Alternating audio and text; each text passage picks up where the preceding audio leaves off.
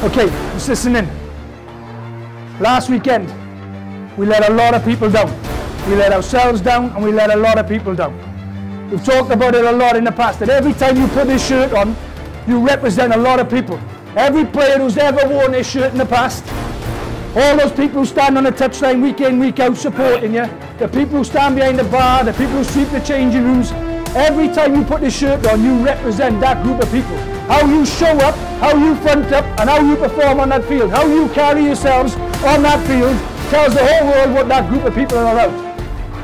If you go out there and lay down and die like you did last week, all that happens is that that group of people has a real bad weekend. The knock-on effect is much bigger than you, much bigger.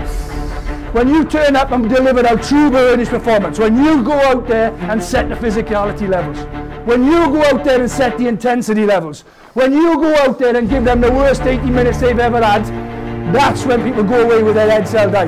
That's when that group of people's chests come out and they can walk down the street tomorrow morning and feel proud to be associated with this club and this group of people.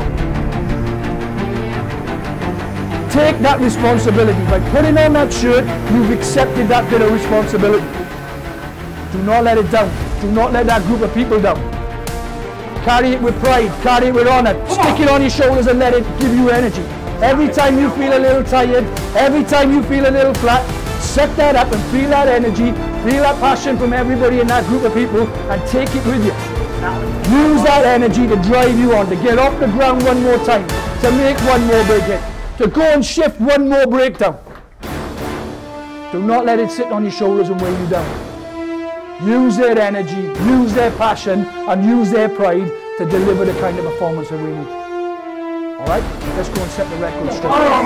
Stewie, all yours, Stewie, all yours.